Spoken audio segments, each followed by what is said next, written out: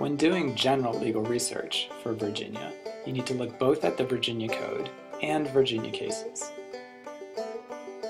The Virginia General Assembly writes the laws for Virginia. The laws that are currently in effect are in the Virginia Code.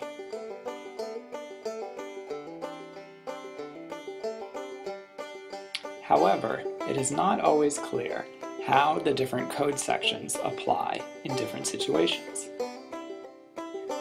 That's where Virginia courts come in.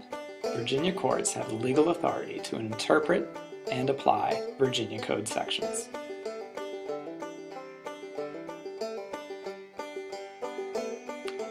Both the Virginia Code and the decisions of Virginia courts interpreting and applying the Virginia Code are the law in Virginia. In addition, there are some areas of law for which there are no Virginia Code sections, and where it is the Virginia courts that make the law. So in general, when doing legal research in Virginia, make sure to check both the Virginia Code and decisions of Virginia courts.